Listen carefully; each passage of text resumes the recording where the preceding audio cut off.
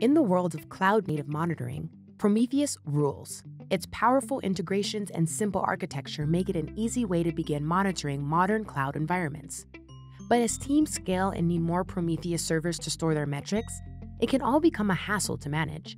But by simply adding a few lines of code to your Prometheus config files, you can forward and centralize all of your metrics on Logz.io's scalable cloud platform for analysis. This means you can keep scraping metrics from Prometheus and we'll take care of the rest. We call it Prometheus as a service. This also means you can unify your metrics data with your logs and traces for end to end observability into your environment. Once your metrics are streaming into Logz.io, you can analyze them on monitoring dashboards to identify trends, spikes, and other interesting patterns.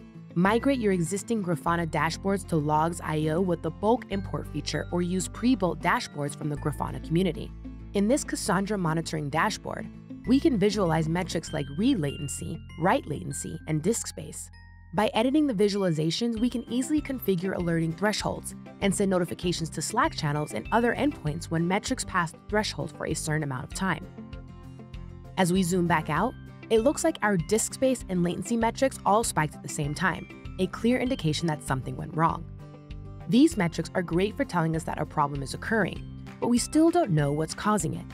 To investigate the root cause, we can quickly correlate these metrics with the associated traces to dive deeper into the specific microservices and application requests causing the latency. Or, we can also correlate our metrics with the associated logs to find the relevant events that explain exactly what is causing the problem. And that's why it's so critical to have your metrics, logs, and traces unified on a single platform. When all your data is in the same place, you'll be able to find and fix production issues faster than ever. This was a brief overview of our infrastructure monitoring product. Try it yourself by simply adding remote write to your Prometheus config files. But first, open a Logz.io account at Logz.io free trial.